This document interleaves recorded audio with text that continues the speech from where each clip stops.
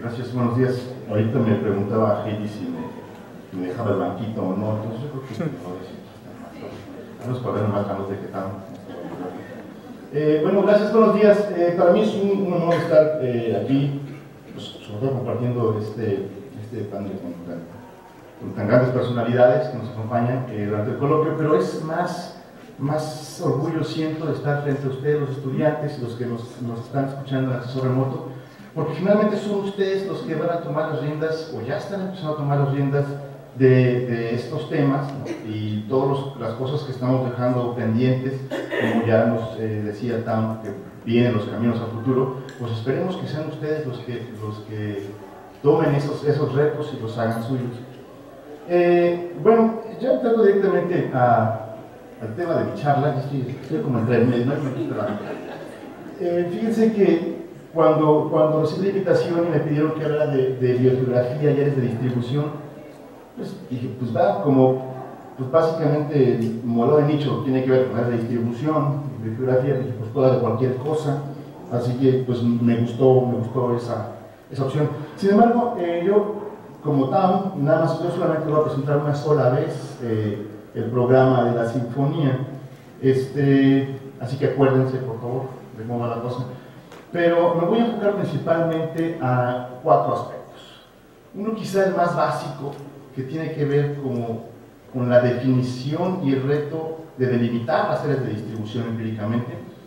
Eh, el cómo utilizamos, una vez que definimos las áreas potenciales de distribución y qué aplicaciones le damos a la, en la biogeografía, el siguiente punto va a ser algunos ejemplos acerca de la variación espacio-temporal de las áreas y su análisis. Y por último voy a terminar con un pequeño ejemplo que tiene que ver con las áreas de distribución y un enfoque de comunidades. Eh, de antemano quiero disculparme con ustedes porque, dado que preferí incluir más ejemplos, eh, pues para, sobre todo para dar un abanico, un panorama de las diferentes aplicaciones que hemos llevado a cabo un servidor y, mi, grupo de colaboradores, eh, en muchos de estos casos que os voy a presentar les de neta les, adelanto que, que, va a haber carencias de detalles metodológicos con la intención de abarcar un poquito más ejemplos. Así que de antemano me disculpo. Bueno, ya sin tanto eh, historia, voy a empezar directamente con la importancia de definir y determinar las áreas de distribución. Eso suena muy lógico, en realidad uno cuando nosotros como biólogos hablamos de de distribución, pues todos tenemos una idea muy básica acerca de qué es una distribución, pero la definición per se no es tan sencilla, ¿no? Eh, por ahí, buscando en, algo de la literatura, me encontré diversas propuestas que ustedes pueden ver aquí. En realidad no quiero que, eh, leerles cada una de ellas, simplemente quiero que se percaten de la diversidad de, de aspectos que se han utilizado para definirla. Algunos de ellos van desde la, la abundancia, otros eh, si ya se enfocan principalmente en condiciones, recursos, algunas otras definiciones eh, empiezan a considerar las interacciones eh, de manera incluso no efímera. No sé qué es efímero o qué no es efímero, pero bueno, lo incluye. Este, o simplemente ya incluso aspectos demográficos como, como la potencial migración e migración de, nuevas eh, poblaciones. más recientemente, Jorge y Town propuso una definición de donde incluyen ya presbióticas, abióticas, la capacidad de dispersión y la adaptación a nuevas condiciones. Y, bueno, y, quizá este, una de las más utilizadas pues es la de dominio público, la región total dentro de la cual se presenta un taxón. Bueno, pues uno de mis estudiantes y, yo decidimos hacer nuestra propia definición, ya que pues, todo mundo proponía una, pues no, ¿por qué no? Entonces lo que hicimos inteligentemente fue tomar pedacitos de las anteriores definiciones y pues generar la, la nuestra, ¿no? Entonces, le llamamos una definición integradora, donde es el espacio donde las condiciones ecológicas favorecen real o potencialmente y en diversos grados, en este caso quisimos meter aquí la abundancia, las interacciones no efímeras, tampoco sabemos todavía a qué nos referimos con eso, pero pues nada bonito, de individuos de una misma especie en los, ecosistemas. Es que sí, por aquí queremos meter un poco la accesibilidad. Este, pero curiosamente, el hecho, como decía el doctor el hecho de que nosotros hagamos definiciones no hace que las cosas existan. En este sentido, pues, podemos tener muchas definiciones, incluso muy bonitas como la de nosotros, pero la pregunta que permanece es cómo estimamos empíricamente esas áreas de distribución. Para dar una perspectiva quizá básica de algunos eh, métodos que han sido propuestos para delimitar esas áreas, eh, voy a tomar un, ejemplo de una, una perdiz, chiviscoyo, comúnmente llamado, este, que es endémica de la Madre Oriental en México, es muy difícil de observar, o sea, encima plantea el reto de, de, de poder observar los individuos para definirla, pues esta no se puede observar, o no tan fácilmente. Y bueno, está asociada más principalmente a bosques templados en la Sierra Madre. Bueno, la historia de, elegir este, este bichito fue porque, pues porque a mí no le gustaba mucho esta especie, pero en parte porque también durante los últimos eh, dos décadas ha habido una discusión muy fuerte acerca de, de, la categoría de riesgo a la cual se debe o se ha asignado correcta o incorrectamente. Entonces, durante esta discusión que ha habido, eh, mucho el tamaño de la distribución puede jugar un papel fundamental para incluirlo o no de, determinada categoría. Entonces, bueno, tomamos este ejemplo y a través de estos esquemas les quiero representar lo que fuimos conociendo a lo largo del tiempo. En el 92 solo teníamos localidades, ¿no? Y esas localidades, pues cada quien ponía la línea o se imaginaba la distribución. Después, para el 95, en una guía de, aves, en una guía de campo, y Webb propuso como un método que voy a mencionar adelante de mano alzada, que es delimitar las áreas, pues como Dios debe entender a cada quien. Eh, después del año 2000, eh, la IUCN propuso este, este, esta área de distribución para la especie, fíjense en manera de parches, ¿no? ignorando incluso algunos puntos. Este, y bueno, más recientemente, colaboradores eh, propusieron pues, esta nueva distribución también a mano alzada, ¿no? cada quien se va imaginando cómo debería ser. Bueno, oficialmente eh, existen métodos propuestos por la biogeografía para determinar las áreas de distribución, eh, donde a partir de un conjunto de puntos, bueno, dependiendo de cada, de cada método propuesto, se definen las áreas, o se van delimitando, delineando las áreas. En este caso, el método de polígono mínimo simplemente lo que hace consiste en unir eh, los puntos más externos para delimitar un polígono que represente esa distribución. Métodos cartográficos, que nunca los he visto honestamente, pero oficialmente están propuestos. Eh, básicamente es poner una rejilla sobre, sobre un mapa y ver dónde coinciden los puntos en toda esa rejilla y simplemente colorear como presencia esas, esas rejillas que corresponden a la presencia. Hay métodos eh, aerográficos, por ejemplo, de propincuidad media, que simplemente cada, cada punto se mide la distancia entre cada uno de ellos, se calcula una media, y de ese tamaño se dibuja un buffer en torno a cada punto, y bueno, pues uno tiene una distribución, o puede utilizarse la primera división estándar, la segunda. Este, el método de no alzada, que es el cual yo hacía referencia, que básicamente es poner los puntos en el mapa, tomarse un buen café, lo que ustedes gusten, que los estimulen un poco más y este, dibujan la distribución. Usualmente esas son las que tenemos publicadas por todos lados. Bueno, y recientemente, muy reciente, fíjense que el modelo ecológico surgió como una alternativa para poder delimitar, como ya estábamos hablando un poco en su charla, de una manera un poco más precisa, más, más más adecuada en términos de las condiciones eh, medioambientales y representadas en la geografía, poder delimitar las áreas de distribución. Además se ven más bonitas, eso sí.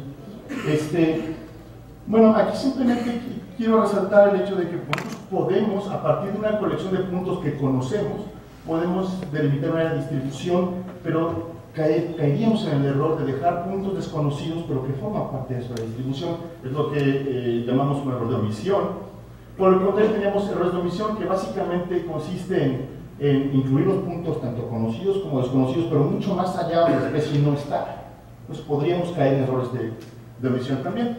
Bueno, eh, utilizando nuevamente el ejemplo de, esta perdiz o chiviscoyo que les platicaba, no les voy a explicar básicamente el primer recuadro, donde a través de las letras estamos representando el número de registros conocidos para por año.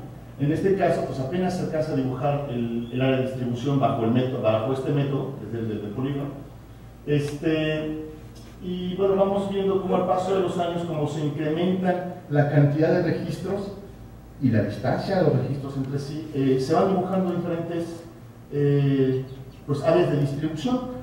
y lo mismo se representa para los demás métodos. Aquí no está evidentemente el, método de mano este, porque es irrepetible encima de todo. Pero bueno, antes de que les aumenten las dioptrías, voy a simplemente a, concentrarme en el último punto, digamos, el, final de la historia de, con base en cada método. Lo que hicimos fue simplemente contar el número de píxeles. Bueno, aquí tomamos el propuesto por Hubble y Webb para esta especie. Y contamos el número de píxeles y nos dimos cuenta de esa gran variación que hay eh, con relación a definir la distribución. Y, si la, y, si la, cantidad de área es un requisito para incluirla o no dentro de una categoría de conservación o no, pues estamos como, somos muy dependientes del método que estamos utilizando. Bueno, en este mismo ejercicio nosotros lo que hicimos fue evaluar la, la omisión y la comisión de cada uno de los métodos de los cuales se les platiqué con base en el número de localidades conocidas que tanto predecían las, las localidades que todavía no se conocían para ese tiempo. En general todos mostraron un buen comportamiento eh, a partir de 24 registros para este ejemplo en particular, eh, casi todos los, los, métodos tendieron a predecir bien los demás puntos, este, unos de manera un poco más gradual, en el caso del cartográfico, otros, hablando ahora de la comisión, simplemente lo que hicimos nuevamente fue contar el número de píxeles predichos a partir del número de, registros, eh, entonces nos, nos, percatamos también que hay, este, métodos que son muy sensibles a la carencia de puntos, ¿no? o sea que incrementa el tamaño de las áreas. Y, pero bueno, en general, algunos tendrían un poquito más a la sobrepredicción. Quisiera que, que vieran que el modelo ecológico, pues de alguna manera pasó más o menos esta prueba y pasó más o menos esta prueba bien en ambos casos. ¿no? Eh, sin embargo, yo ahorita les platicaba acerca de las, en términos del desempeño de, los, métodos, eh, vemos que hay una dependencia de la cantidad de registros dependiendo de cada uno. Eh, en este caso quiero que, se enfoque en estas eh, pequeñas gráficas que yo dibujé. Aquí simplemente este número es número de registros. Vemos que el método, por ejemplo, del, del polígono no es sensible al número de registros, pero sí a la distancia entre los registros. El método cartográfico, brincando los este de acá, no es sensible a la distancia entre los registros, pero sí al número de registros, o bueno, hay una tendencia. En cambio, el método alográfico eh, resultó ser una combinación, el tamaño del área se representa con el tamaño de cada circulito, y vemos una especie de combinación. Ahora, curiosamente, no puse aquí al modelado de nicho, porque el modelado de nicho en realidad no es dependiente ni de la distancia ni de la cantidad de puntos, no lo comentan, estricto, pero en general pero sí es dependiente de la heterogeneidad ambiental de los registros, donde los demás métodos no son dependientes. En todos los casos, mano alzada puse siempre entre signo de interrogación, porque pues, no sabemos. ¿no? Yo creo que si aquella persona que está dibujando las áreas de distribución mano alzada, si considera, eh, conoce la topografía, etcétera, podría más o menos intentar representar eso a través de su, de su propuesta. Bueno, sin embargo, una de las ventajas que tiene el modelado de nicho, por ejemplo, es que se pueden recuperar los patrones de distribución ambiental, a diferencia de los demás, que para nada son espaciales netamente. Entonces, es una de las ventajas al dibujar su área de distribución partiendo de la, de la, de la distribución ambiental también, de las condiciones eh, abióticas que nos hablaba TAM, eh, podemos recuperar información, por ejemplo, en este caso, de los tipos de vegetación donde vive la especie y podemos, claro, circunscrito, por ejemplo, en el continente, en el, en el Sierra Oriental, intentando definir nuestra M. Este, pero, pues, bueno, ya finalmente, si yo estuviera vendiendo métodos para definir de distribución, yo creo que ya ustedes me comprarían el de modelado. Pero no es porque, porque no quiera venderlo, simplemente que tenemos que considerar algo que es muy importante, y es una desventaja del modelado, es que no considera aspectos históricos que están implícitos en los demás métodos que se, delimitan, implícitamente por la existencia de los puntos. O sea, de alguna manera los demás métodos sí consideran esa accesibilidad de la cual nos hablaba en su charla anterior y, los métodos de modelado tenemos que definir nosotros previamente. Por eso una moraleja que les damos a, nuestros estudiantes del curso de modelado es pues, que no se crean lo que sale, ¿no? que tienen que conocer muy bien la historia biología de las especies que están modelando, para poder introducir justo aspectos históricos. Bueno, en este caso del chiviscoyo, eh, simplemente aquí hicimos ejercicio con dos algoritmos, solo porque nos pidieron los revisores los revistas que teníamos que hacer más, más algoritmos. Eh, siempre fueron muy coincidentes en lo general. Este, sin embargo, ambos sobrepredije una región donde después de ir al campo nosotros eh, lo encontramos afortunadamente a través de, canto, del registro de sus cantos, pudimos darnos cuenta que la especie era mucho más común de lo que pensábamos, pero hubo un área que, si bien no podemos decir que no está, al menos después de muchas visitas al campo nos dimos cuenta que nunca tuvimos una respuesta. Por lo tanto, eh, consideramos que hacia el norte la distribución bueno, norte, este y oeste, la distribución de esta especie está limitada climáticamente.